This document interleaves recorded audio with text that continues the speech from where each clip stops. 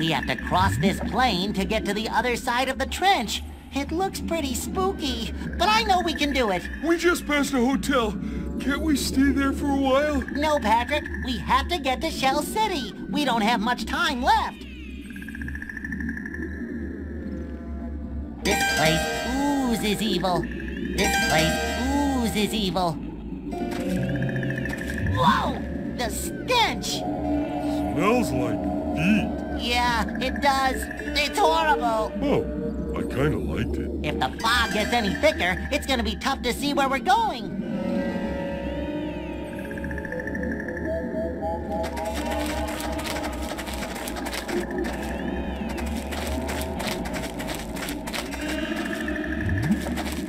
Hi! Huh? Oh, hi. Fog is pretty bad, huh? Yeah. You need a lighthouse to cross this place without getting hopelessly lost. I'm gonna go. Sure, whatever.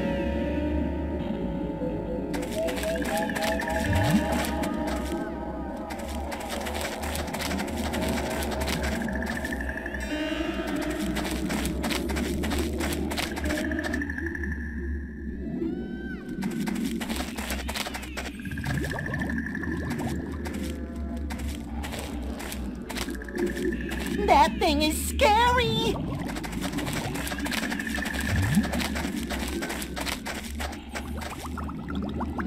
Hotel Deep Six. Not exactly five star from the look of it.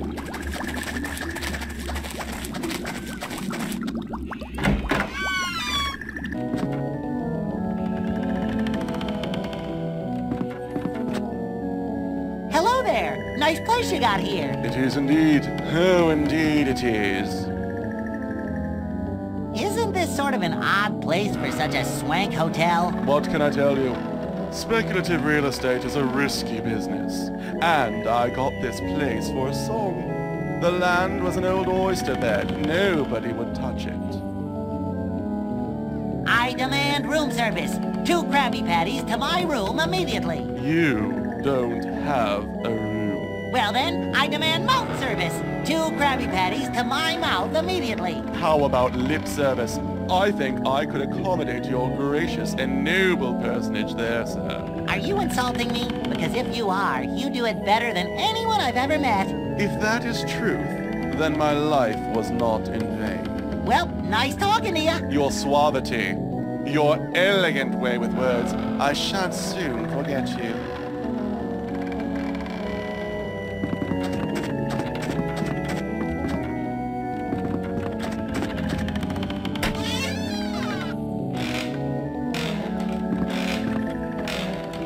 Wow, your room is so much bigger than mine. Well, bigger than I imagine mine would be, if I had one. I'm guessing you usually knock before coming into a person's room? Nah, don't see much point. Nice room, huh? I'm of the opinion that it has a vaguely larcenous motif. You can say that again, and I still won't understand it. Are you all right, ma'am? You seem upset. No, I'm not all right, as a matter of fact. Somebody stole my pearls last night from right out of this very room, and whomever it was left this strange orb in its place. I'm in a state of shock. Pearls, huh? Patrick, what do you think? I think it's a job for Detective SpongeBob and Inspector Star. Me too. Never fear, madam. We have never lost a case, or even taken on a case. In either case, we have a perfect record. To be brief, case. Oh dear. We will investigate this matter fully. Search every nook and cranny for clues, just in case. Be all over this place like a cheap suit. Case. I, I don't know what to say. Inspector Star, we must keep our eyes peeled. Give everything a long, hard look. If people think we're rude, so be it. If staring will solve this crime, then we shall stare. Case. Hmm. Staircase. May we ask you some questions about the incident? I suppose so. When was the last time you saw your pearls? Last night. I'm not sure what time, but they were on the table next to the lantern. I don't know how someone could have gotten in here without me hearing them. Was your door locked last night? Yes, I lock it when I go to sleep. I leave it unlocked otherwise, assuming people will be courteous enough to knock before barging in. Apparently, I was wrong on that count. Thanks. Well, nice talking to you. Yes, a pleasant, mindless break for me as well. Those are strange holes. They look like wood rot, but it's too dark to see down them. If only I had more light.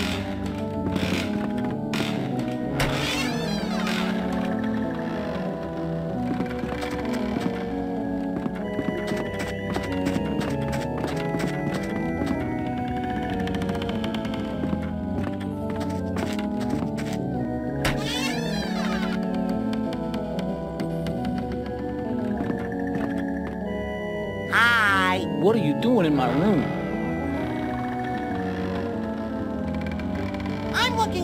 Disappearance of some pearls. Oh yeah? Nice. So what's it got to do with me? Well, I was hoping I could ask you some questions about it. Uh, fine. Only don't take too long. I'm a busy guy. Lots of irons in the fire, you know? Where were you last night? I stayed in. It was kind of stormy last night. Kicked up all sorts of fog over the plains. I didn't want to get caught out there. You didn't leave your room at all? I didn't say that. I said I stayed in. I went to the lobby and read a magazine for a while. May have wandered around the halls a bit, but I didn't leave the hotel. Did you see anything or anyone suspicious while you were walking around? Not particularly. The manager was asleep at his desk. Aside from him, I didn't run into anybody. The manager was asleep at his desk? Yeah, snoring quite loudly, in fact. Made it difficult to read.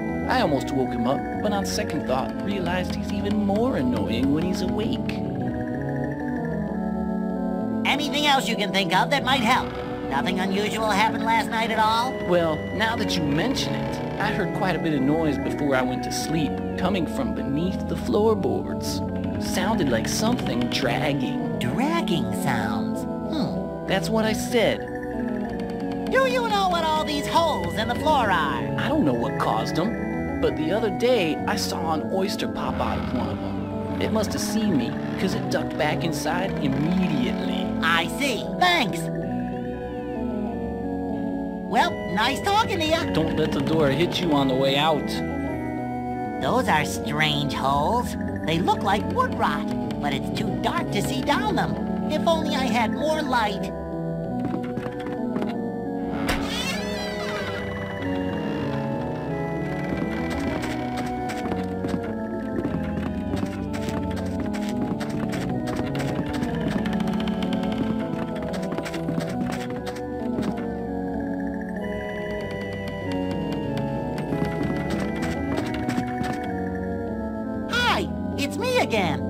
The sheer luck with which I've been graced. Someone fan me, I may faint. Do you know one of your tenants had some pearls stolen from her? Yes, Victoria Ellen in room one. How could I not know she has made quite a stink about it? May I ask you some questions about the crime? If you must, Where were you on the night of yesterday? I was here, at this desk, the same place I am every night and every day. I don't sleep well. hmm I see. And did you see anyone suspicious come through the lobby? Let me think. Red came through in the early evening. He stayed in room two. Strange person. But he pays his bills on time, which is more than I can say for Victoria. Hmm. Nobody else? Well, um, all right. All right, I confess. I cannot withstand your incisive and brutal questioning. I did it. I took her pearls. Just please no more of these vicious questions. Really? You did it? No, I was kidding. What are you, some kind of knucklehead McSpasmatron? Barnacles. Thanks. Well, nice talking to you. Your suavity, your elegant way with words. I shan't soon forget you.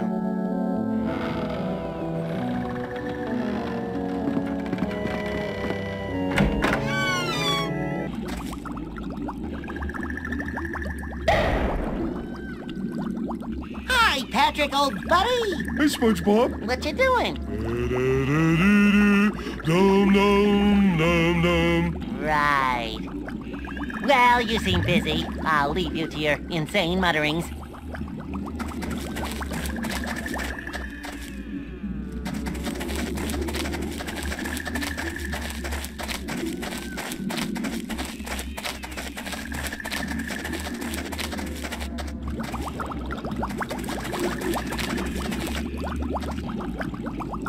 Uh, Yes, Patrick? I think I'm gonna stay out here. Why? I, uh, I, I'm afraid of caves. But you live under a rock. And Well, I mean, a cave, a rock. are you saying my house is like a cave? Oh, not really. Uh, slightly cavish, maybe. I'm gonna pretend like I didn't hear that. Okay, okay, have it your way. Wait here, I won't be long.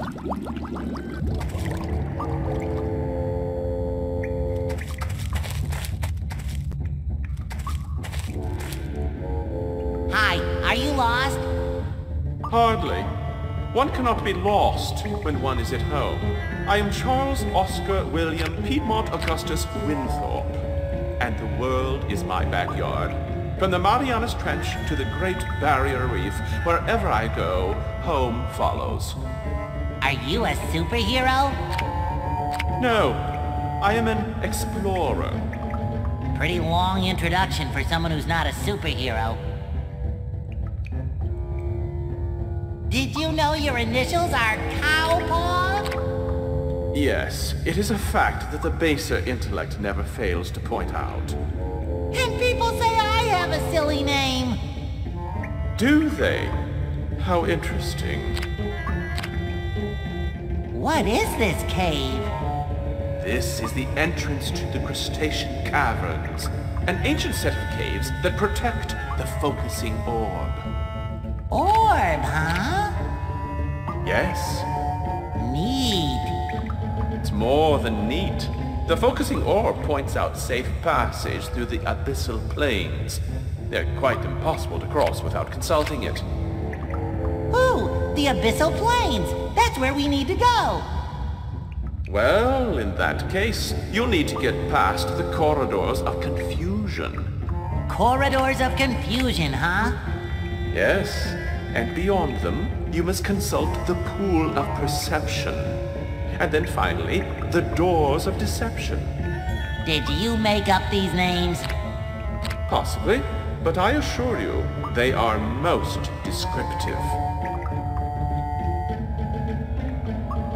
Can you possibly lend me your flashlight? Well, I suppose you can borrow it. Now don't break it. It is precious. Gimme, gimme! Use it well. Tell me about the corridors of confusion. They are a series of passages. Each one glows a different color. And in order to pass them, you must enter them in the order that they light up. Sounds kinda silly. Yeah, it is kind of silly now that you mention it, but it's the only way to get to the pool of perception. About the pool of perception. It's a pool deep in the heart of the cavern that, legend has it, tells you your future when you gaze into it. I can tell you your future if you like. I see years of therapy. Hey, I didn't make up the legend. Tell me about the doors of deception. I don't know much about them. I have not as yet had the privilege of studying their legends. I'm sure they're quite dangerous. Good luck with your expedition. I've gotta go. Yes, off with you.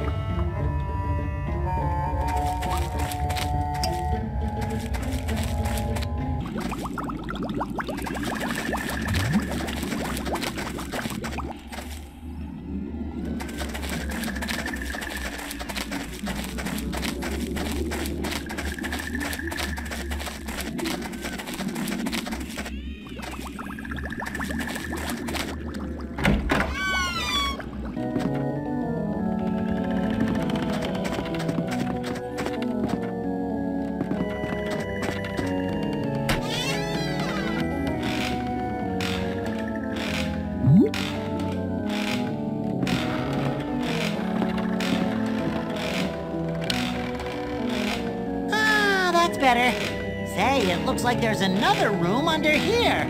I wonder how I can get there. Maybe the manager knows.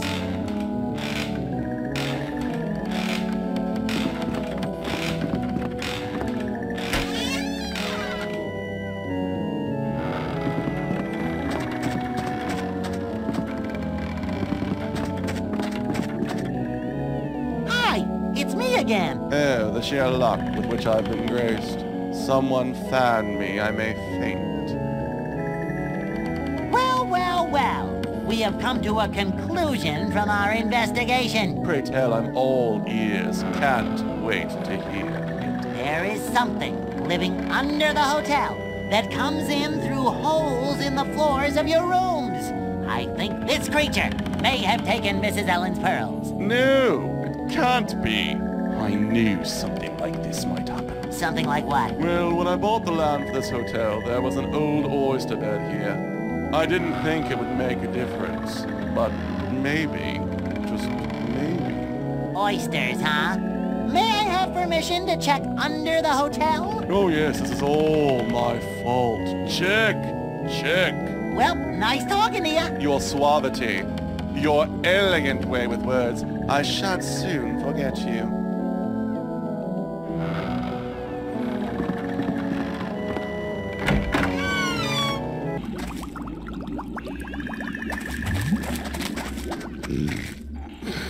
Oyster bed. These look like Mrs. Ellen's string of pearls. The little guy must have thought they were his. I'd better return them to her. Wow, this little guy sure has collected a lot of stuff.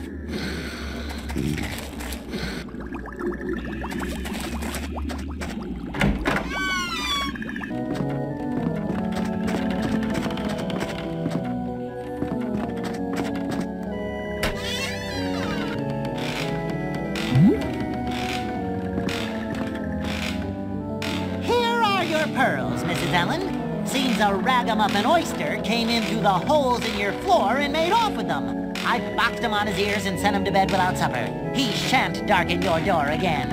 Oh, thank you so very much, young man. These were a gift from my darling first husband, Edward. They mean so much to me. Ask her about the reward. Ask her about the reward. Patrick, that isn't very polite. Oh, sorry. Please ask her about the reward. Please ask her about the reward. Well, you boys certainly deserve a reward. Here, take this orb. I don't need it now that I have my pearls back. Hooray! A reward!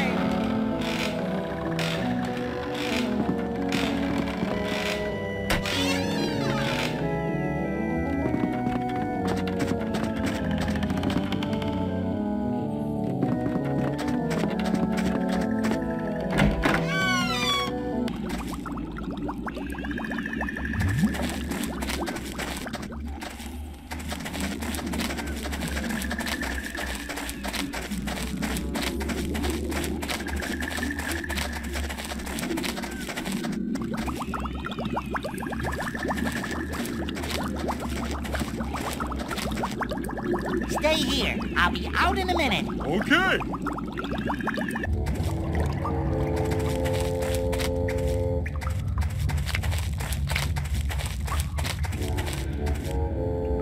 I thought that guy said there'd be lights in here.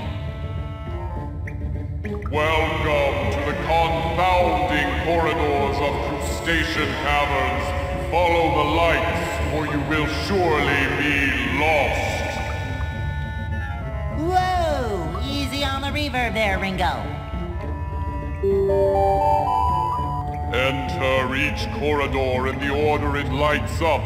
A mistake will lead you back to the beginning. Only through concentration can you hope to make it to the inner sanctum of the Crustacean Caverns. Uh, okay. Guess I'd better pay attention.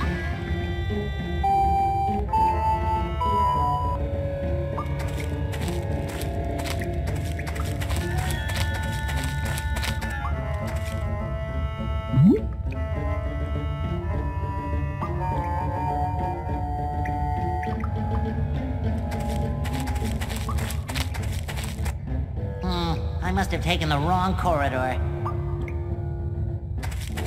Let's try this again. I'll remember the sequence this time.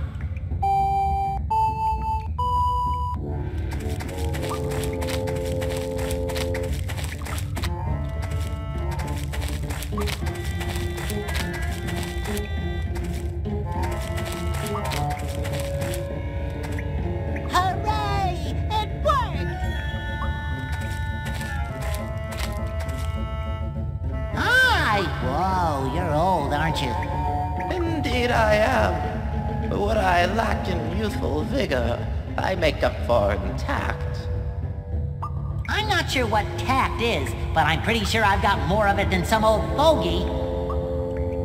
Who can argue with that logic? Say, you wouldn't by any chance know a way to cross the abyssal plains, would you? Actually, I do. The inner sanctum lies beyond the doors here. In it is a device that uses sunlight to illuminate a path through the fog of the abyssal plains. Right! I am so there! I cannot let you in. The focusing orb has been stolen. Those doors must remain locked until the orb has returned. Focusing orb? Yes, it aims and intensifies the light. The inner sanctum does not function without it. It would be of no use to you. Who stole it? I don't know. Nobody can get to the inner sanctum without passing by me, and nobody did. But if you can find it, I will allow you passage beyond these doors.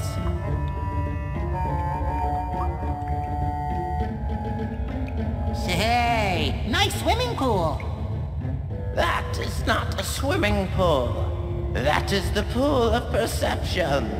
Looking into its depths gives you a vision of your own future. Is it heated? No. Well then, call it whatever you like. I call it lame. Charming. Look, I got the focusing orb. Go me. Ah, excellent. I will open the doors for you. Beyond them you will face another puzzle before getting to the inner sanctum. Once you have passed it, place the orb on the pedestal. Then the fog will lift. Great! Thank you, oh ancient one. I'm 52. Wow! Thought only Coral lived that long. Okay, let's give this pool of the future a try. What was that supposed to be? Hey, older person, this thing doesn't seem to be working. What was that supposed to be? Hey, older person, this thing doesn't seem to be working. Or does it?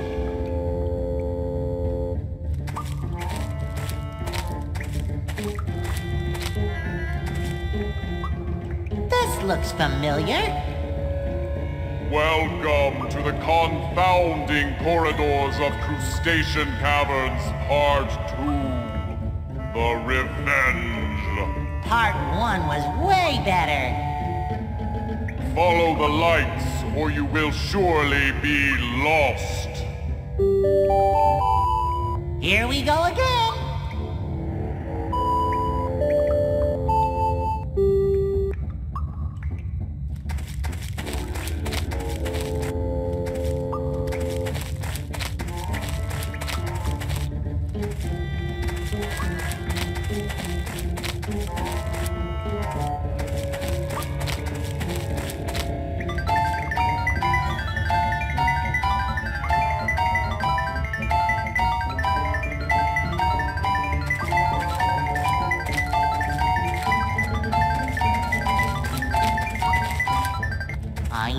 pink door was the right one? It's some kind of crazy pedestal thing. There's a place for something round on top, but there's nothing in it.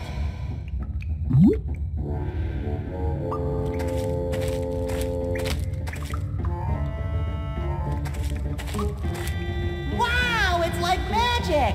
Without the rabbit! Ooh, the light cuts through the fog. We should follow it.